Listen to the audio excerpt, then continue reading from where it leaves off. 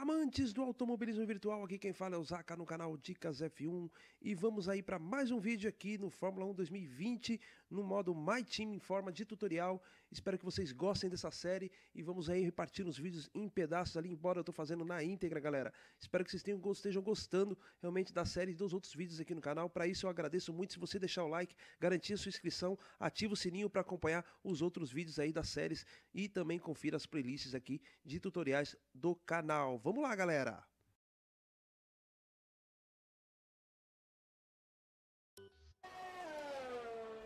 Amantes do automobilismo virtual, quem fala é o Zaka no canal Dicas F1 e vamos dando continuidade na íntegra ao nosso modo, modo My Team agora com gerenciamento de combustível. Fizemos no vídeo anterior do RS primeiro no T2, no treino 2, passando aqui para vocês rapidinho o setup.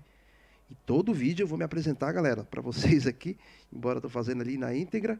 Já usamos esse pneu no RS, vamos selecionar o outro jogo de pneu. Vamos a dois e depois vamos deixar os outros dois para os outros ritmos ali, classificação e corrida.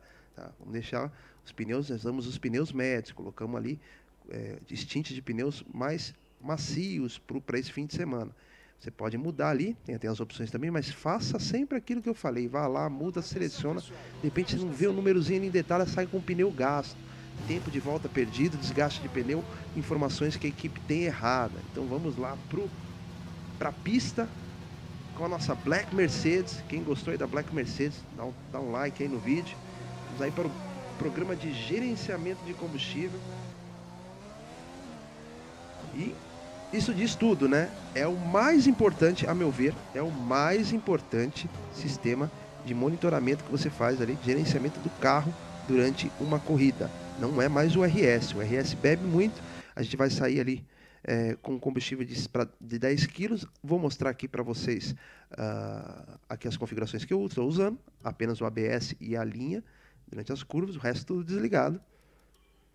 Mostrar para vocês aqui também as minhas configurações para offline de botões. É sempre importante lembrar que o RS agora eu uso três botões, um para ultrapassagem na corrida e o outro para gerenciamento em qualificação. As configurações aqui de mistura de combustível. Por isso que eu deixo como os botões mais importantes agora para gerenciamento, que é o círculo e o triângulo. Tá, galera? Deixei o círculo e o triângulo no Xbox aí, para você poder deixar, acho que é o Y e o A, se eu não me engano. E, ou B, não lembro agora. É o B, Y e B. Você deixa esses botões que é mais fácil para você gerenciar a mistura de combustível. A gente não vai poder mexer no RS, ele vai ficar aqui no médio, como vocês estão vendo ali. Meu HUD está diferente aí, vai ter vídeo para vocês também se quiserem fazer um HUD parecido. Deixei as telas grandes para facilitar para quem está na transmissão, é, assistindo, ter as informações aí detalhadas, quem está no smartphone pequeno, enfim, tentando facilitar tudo para que fique legal para vocês. O RS vai ficar no médio, então ele vai gastar um pouquinho ó, lá em retas, mas quando desacelerar ele sobe ali para 100%, ó lá, tá vendo? E não vou mexer em diferencial e freio, vou deixar do jeito que está. Uh, aquecimento de pneus, fizemos as curvas de forma suave para não gastar o pneu. Vamos aproveitar essa reta aí já para também aquecer um pouquinho o motor.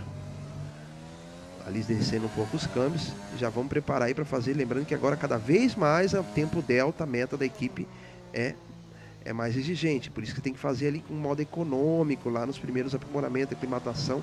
Falei isso nos vídeos anteriores. Todos os vídeos são importantes para você aqui no My Team. Essa sequência de vídeos separada ali, 10 em 10 minutos praticamente cada vídeo. Acho que fica legal. Se vocês estiverem gostando, dê um toque. Começamos aí. Opa! Grosjean. Ai, meu filho.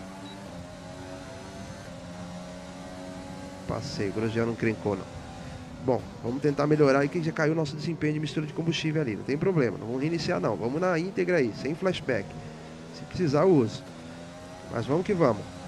Mistura de combustível, galera. Como é que funciona? Você reduz desacelerando. Você recupera ali também combustível. Gasta menos combustível. Você não recupera, recupera o RS. Gasta menos o combustível.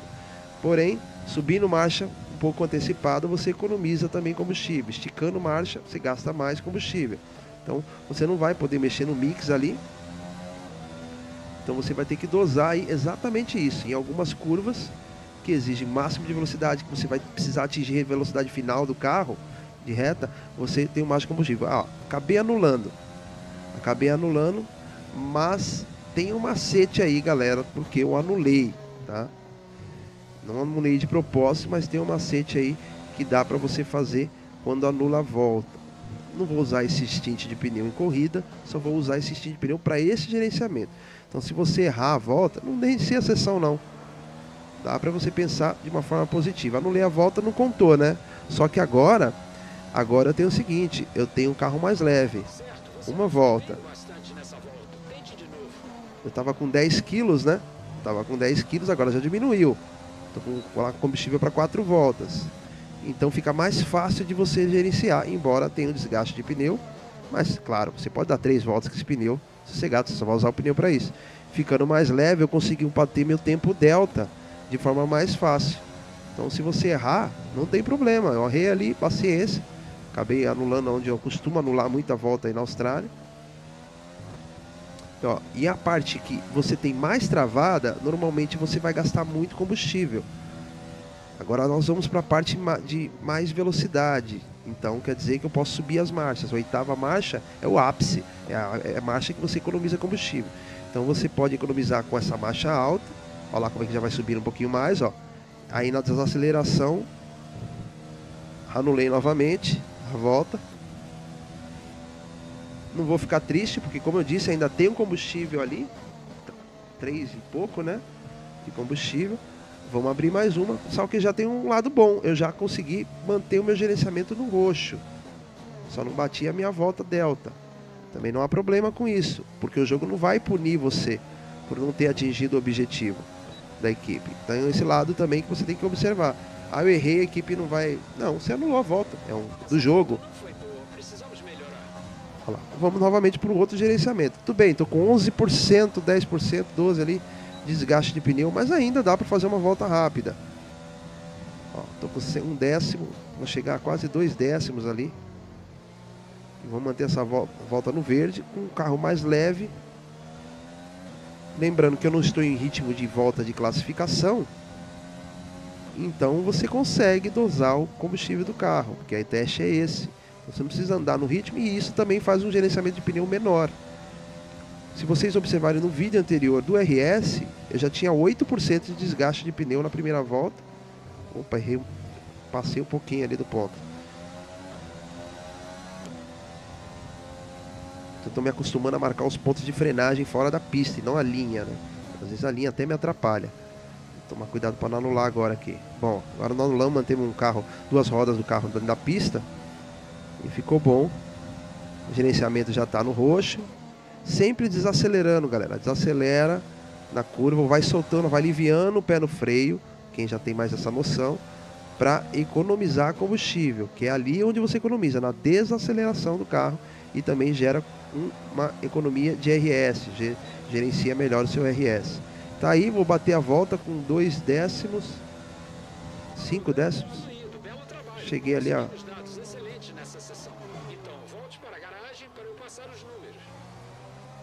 Podem observar que o meu tempo ficou ali, né? o melhor tempo do, do, que eu fiz com RS foi um 25, que eu não mexia com, né, com mistura, né? nem mistura e nem RS, eu mexia só com RS e consegui fazer um 25, aí eu fiz um 26, o tempo alto, mas o delta que a equipe me exigiu foi menor. Então essa é um macete aí, pelo menos para você resolver esse aprimoramento. O outro ponto é gerenciar isso de forma correta numa corrida competitiva no online.